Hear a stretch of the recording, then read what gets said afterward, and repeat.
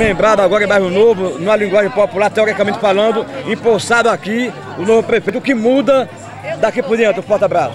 Eu acho que começou a mudar, né, Guinaldo?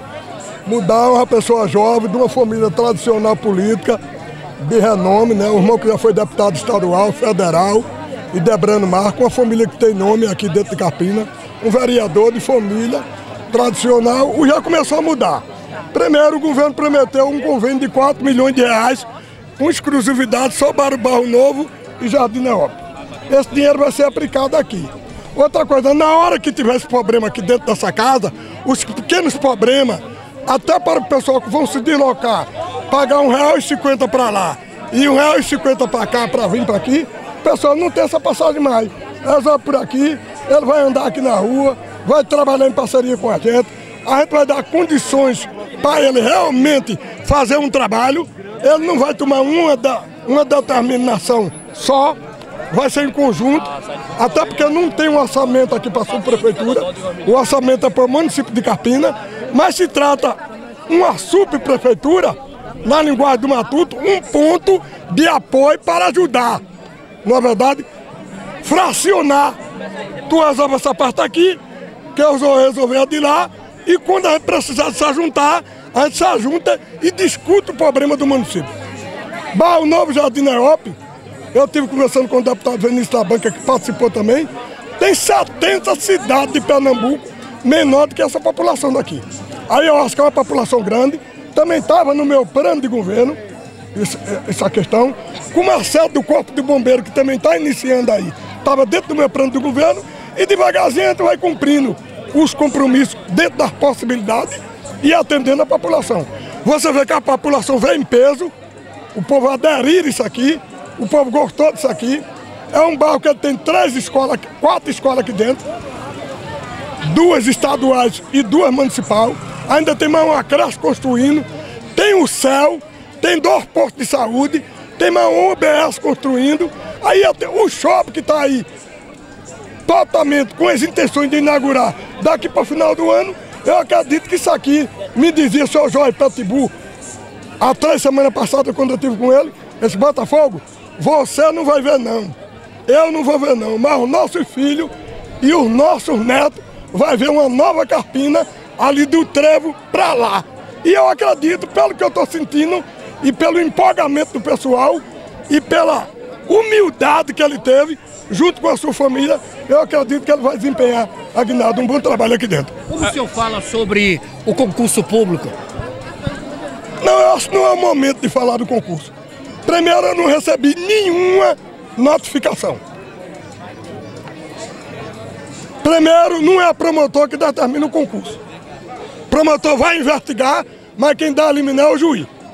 Você sabe disso. Você tem um prazo também para falar, né? Hein? Tem um prazo também para responder lá, né? Não, eu, não, não é nem ter prazo. É porque, na verdade, quem primeiro se pronunciou o ano passado do concurso foi o promotor. E eu tenho isso gravado que eu vi a voz dele. Aí hoje ele disse que estava tudo é o quê? Aí quem vai dizer que está tudo é o quê? É o juiz. E eu também devo preparar a minha comissão e analisar esse concurso para ver realmente se foi tudo de direito, tudo em paz. E outra coisa, aquele concurso não era para ter sido feito. Por quê? Porque ele já estava com 69% comprometido com a folha de pagamento e ele ia botar esse pessoal aonde? Quando ele concluiu o concurso, porque ele não homologou e não chamou o povo? Ele veio homologar o concurso no dia 30 de dezembro na escalada da noite, quando ele já estava saindo. Porque, na verdade, eu quando fiz o concurso, eu homologuei e comecei a chamar. De 2009. Não teve nenhum problema. Agora, não foi eu que fiz o concurso. Quero deixar bem claro, Peruca, e Agnaldo e Rafael. Quem fez o concurso foi o senhor, prefeito Carlos do Moinho. Foi ele que homologou, foi ele que fez. E por que ele não chamou? E por que ele homologou na verba da saída? Aí fica aí a minha interrogação Aí o juiz, eu acredito que o juiz, a justiça é correta, vão analisar. Eu tenho um advogado que cuida dessas coisas públicas e no final a gente vai dizer sim ou não. Agora é probaturo, a gente está falando uma coisa que a gente não tem certeza. A prefeito, no caso, o promotor de justiça aqui da cidade de Carpino, Fernando Falcão, disse para a nossa equipe de reportagem hoje que o Ministério Público teria desistido da ação que havia movido, a ação civil pública. Ele disse que, inclusive, que o, a convocação dos aprovados seria um critério apenas do prefeito.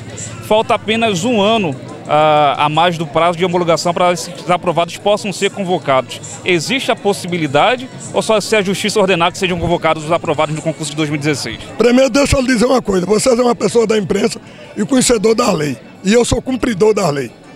O juiz é quem, é quem mete a caneta, o promotor é quem condena, o, o, o, promotor é quem investiga, o juiz é quem condena, e eu sou simplesmente um homem cumpridor da lei. Agora, na verdade, na altura que a gente está com a folha de pagamento, não tem justiça que obrigue eu nomear ninguém. Ultrapassou. A, a lei de responsabilidade fiscal, ela diz que a gente tem que gastar até 54%. Eu fechei o ano com 62%. 8% a mais. 8% a mais. E eu estou me amoldando para me, me adequar. O Tribunal de Contas mandou exonerar, cortar a gratificação. Aí fica difícil. Eu estou aqui no gumo do Anavaia, mas vamos sair bem. Porque quando o cara tem cabeça e tem Deus na vida, ele se sabe em tudo. Vai diminuir o cargo comissionado, o número? Não, não pode, porque é muito pequeno, Peruga. Se você olhar 100 cargos comissionados para uma prefeitura do tamanho de Carpina, não representa nada. Agora você sabe que todo o inchamento da folha de Carpina é o que eu gastei 49% com educação, com folha de pagamento. 49% na educação. Estou 49 é quase 50. Carpina tem 2.500 servidores. Tem 550 professores. E a folha dos professores ela bate com dos 2 mil servidores. Eu acho que não precisa dar aula, por bom entendedor, entendo. Então todo o peso da lei, o percentual da folha de pagamento e do descumprimento da lei está dentro da folha de pagamento dos educadores. E um professor não merece ganhar bem, não. Merece ganhar bem, está demais. Agora, é lamentável que professor que ganha bem, e eu tenho uma irmã minha com doutorado e ganha 4 mil reais Judito Botafogo, no governo do estado. E tem professor aqui em Carpina com 8, 9, 10 mil reais. Reajuste para professores 2018, irá ver, prefeito? O piso que o governo federal deu foi de 2.455. Se alguém ganha 4, 5, 6 mil, dá reajuste para quê? E a lei? É uma situação um pouco delicada, mas se resolve. Deus é bom, a gente está trabalhando e vamos pedir a Deus a justiça vai fazer o dela e cabe a mim eu fazer o meu e cumprir a ordem da justiça. Prefeito, voltando a falar com relação a esse evento de hoje, José deixa de ser vereador e é subprefeito. Qual é a regalia que ele tem? É, carro à disposição, a gasolina, o que mais? Eu acho que você não chegou no início do meu discurso. Regalia, nem o prefeito tem, tá andando de pé. Tô pegando carona agora. Aí ninguém tem regalia. Eu estou perguntando porque eu estava na hora, mas para quem não estava aqui, que está ouvindo o programa hoje. É. O que Josi vai ter aqui não é regalia, é o dá direito. Carro para andar, gasolina pela prefeitura, servente para limpar a casa, dois ou três assessores para acompanhar ele. Eu não chamo essa regalia, eu chamo o direito constitucional que o cidadão deve ter nesse carro que ele vai assumir agora de subprefeito. E o valor mensal? Secretário subprefeito, ele foi subprefeito, com status de secretário, o valor é 7 mil reais.